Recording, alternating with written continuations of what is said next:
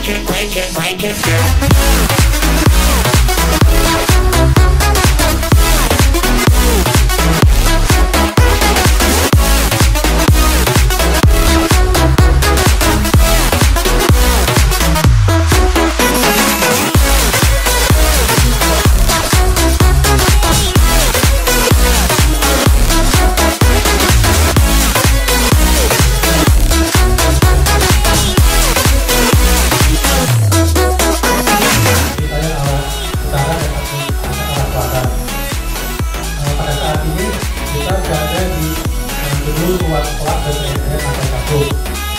Ini dilengkapi oleh satu pintu utama yang berada di sebelah selatan, kemudian dua buah pintu darurat yang berada di sebelah timur dan Puji syukur kita panjatkan ke Tuhan yang Maha Pengasih.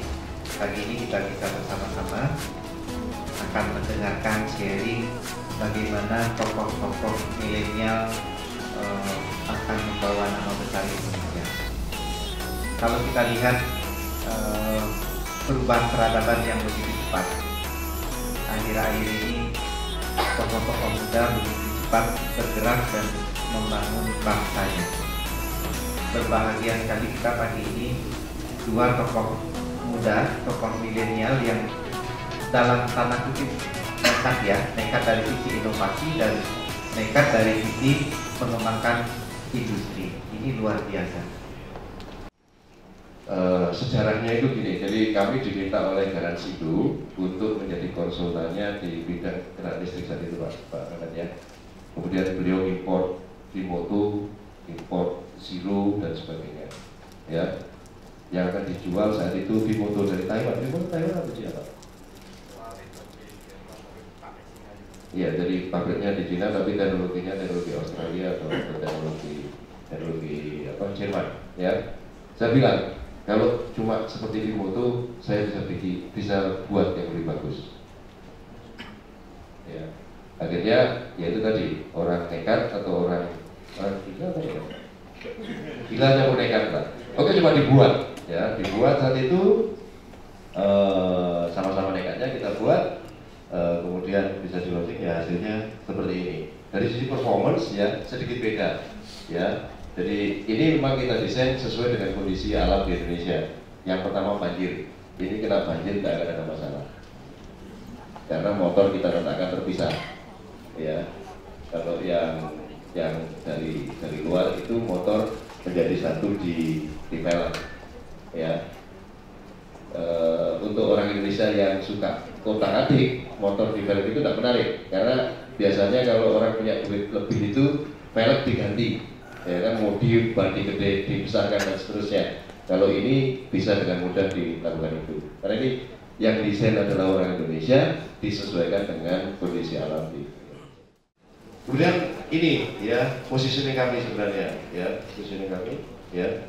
Jadi kesit itu ada di sebelah kiri ya. Kesit ada di sebelah kiri ya.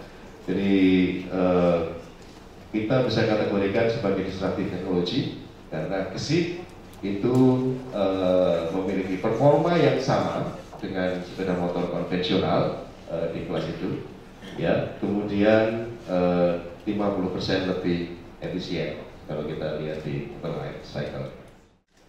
Ayo kita ketemu sama Pak Nur, sama Pak Harun. Gimana kita bikin motor Indonesia? Kita motornya motor listrik, tapi jangan yang abal-abal karena gimana pun ya sorry nih ini iklan dikit garansi itu ini orang-orang tahunya di premium segment gitu loh kalau sampai garansi itu ngeluarin satu motor ya mesti kualitasnya apa segala macam ya mesti yang benchmarknya nggak tanggung-tanggung.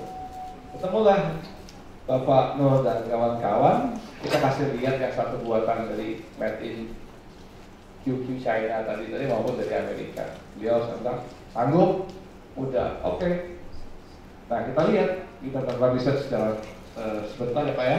Kebutuhan-kebutuhan behaviornya para customers ini seperti Pak Nur bilang tadi kalau sekarang skutik yang ada di, di, di berbagai macam negara memang menggunakan seperti hub motor di bawah peleknya kecil nggak bisa diapa-apain ini kayaknya orang sini susah gitu rasanya maka Pak Nur dan tim dan kami mendesain pengenalannya memang lebih mirip agak eksekutif biasa. Sebetulnya kita punya desain yang lebih futuristik, tapi untuk shifting set mind customer Indonesia itu kan lebih bagus caranya agak smooth gitu maksudnya.